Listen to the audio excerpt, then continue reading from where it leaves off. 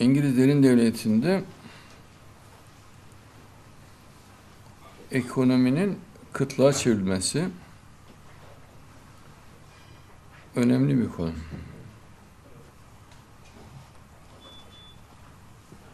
Mesela İngilizlerin devletinin bir mantığı var. Çok ürkütücü ve çok çılgınca. Savaş barıştır diyorlar. Savaş barıştır.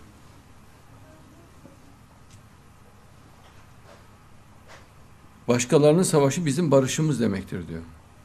Yani çünkü onlara imkan sağlıyor savaş. Silah fabrikaları çalışıyor. Oranın ham maddelerini elde edebiliyorlar, petrolden elde edebiliyorlar. Ve en çok tabi üstlerine durdukları silah sanayi.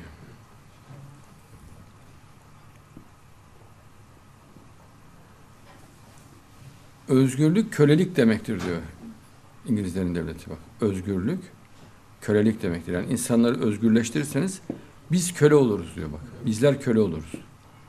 Onları köle yaparsak biz özgür oluruz diyor.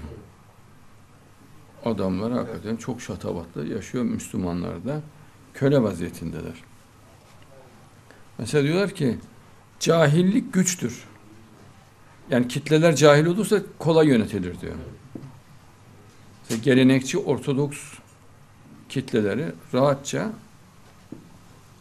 El-Kaide, Taliban, DAEŞ her türlü fikir akımına üye yapabiliyorlar. O tarafa kaydırabiliyorlar. O yüzden cahillik güçtür diyorlar. Slogan. Yani kitlelerin cahil olması bize güç verir diyorlar. Yani okumuş, kültürlü, bilgili, aydın kitleleri yönetmek zordur diyorlar.